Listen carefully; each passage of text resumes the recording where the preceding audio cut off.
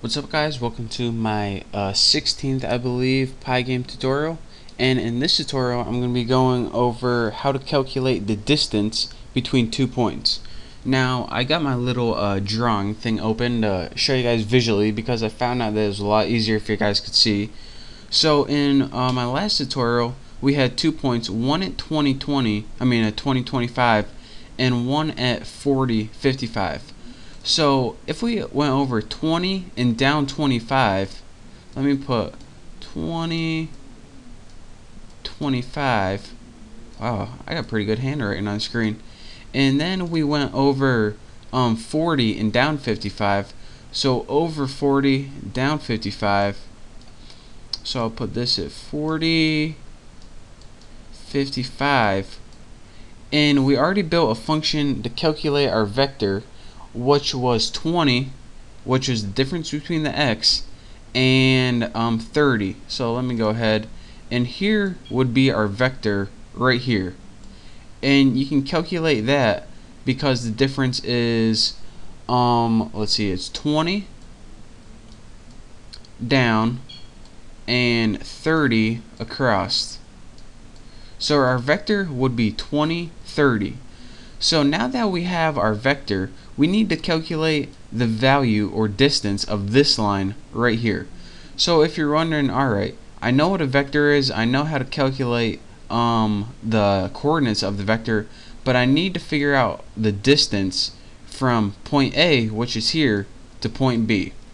So let's go ahead and do that right now. And by the way, since this is a right triangle, the formula for this is a squared and this side equals b squared in this um, slope this would be c squared. So a squared I'm not even going to type it plus b squared equals c squared. So that's what we're going to do. This is called Pythagorean's theorem and he gave this to us because he wanted us to make computer games. So that's what we're about to do and that's what I'm about to show you how to do. So let me uh, minimize out of that and we already got one function. Actually I'm gonna go ahead and change this to x and y. X y x y.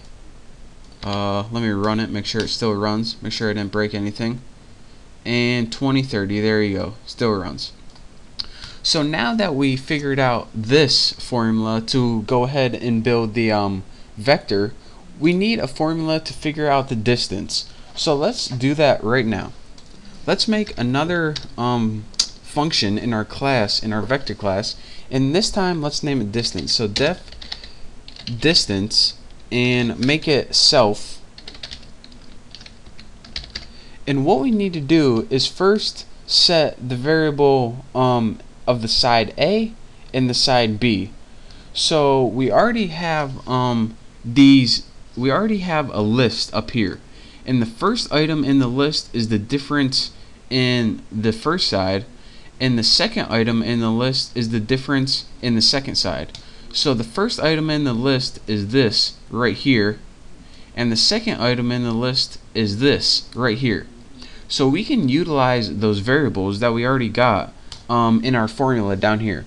Man would you look at this? I really messed up. That's like graffiti right now. Anyways so we can use that list to extract values from it to, well, it's a lot easier to see. So let's go ahead and set two variables for the side so it's easier to see. Self A, A, I don't know why I said A twice, but this is equal to um, self diff 0. Since this is equal to this coordinate minus this coordinate, so right now self A is going to equal 20. Because remember, here's what here's the list I was talking about. This list is self diff.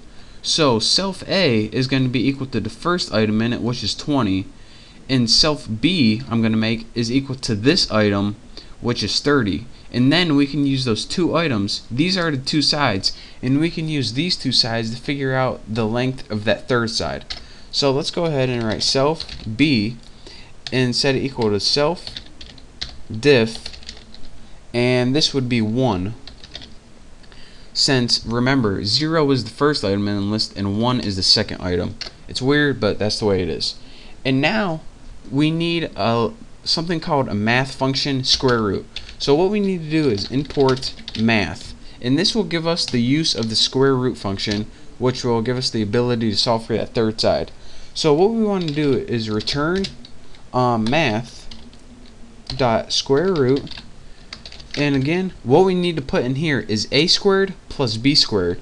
So go ahead and put self dot a um, asterisk asterisk that 2 and that means square root in Python. You probably should know that. Self b uh, asterisk asterisk 2 and what this pretty much means it's a really complicated way of writing it but a squared plus b squared and equals c squared. In order to get c squared, we need to take the square root of it. So that's what this does right now. So let's go ahead and the last thing we have to do is print out our answer. So print thing dot distance and it doesn't take any parameters as you can see it only takes the self parameter so let's go ahead and run this and then after it works I'll show you guys it one more time so here are the two sides the side this side is 20 going up and down. The side going left and right is 30 and the distance between those is 36 so let me show you in my awesome here we go right here. This side would be 20 this side would be 30 and this side would be 36 the slope side. And again if you take this side squared plus this side squared it equals this side squared. And that's how you get it. And it's a lot easier if you know that theorem but anyways that's how you do it. So let me talk you guys through this one more time. What we did is we took this list that we already built. We already knew the first item in the list was the length of the first side. The second item in the list was the length of the second side. So all we needed to do is square those square A and square B and then you got the square root of the slope side, or excuse me, the distance of the slope side. And then we just printed it out. So that's your quick tutorial on how to find the distance between two points uh, using a vector. It makes it really easy, think to Pythagoras or whatever his name is. So um, practice this tutorial, follow along with me. Don't forget to change your variables and also um, don't forget to import math or else you won't be able to use the square root function. So again, thank you guys for watching. Don't forget to subscribe, and I'll see you next tutorial.